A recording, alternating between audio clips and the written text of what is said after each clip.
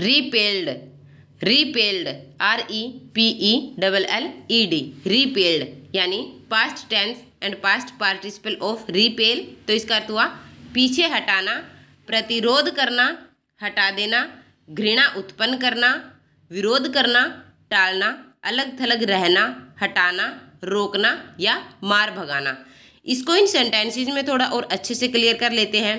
जैसे I was repelled by the smell I was repelled by the smell यानी कि मैं गंध से पीछे हट गया था।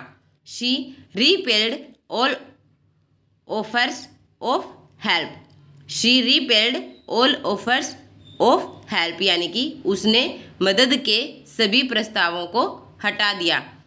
She was repelled by his ugliness she was repelled by his ugliness यानी कि वह उसकी कुरूपता से दूर हो गई थी। उम्मीद है आपको वीडियो पसंद आई होगी। चैनल को लाइक, शेयर, सब्सक्राइब करना बिल्कुल मत भूलिएगा। अपनी इंग्लिश को और ज़्यादा बेहतर बनाने के लिए चैनल के होम पेज पर हज़ारों वीडियो है, जिन्हें जाकर आप देख सकते हैं।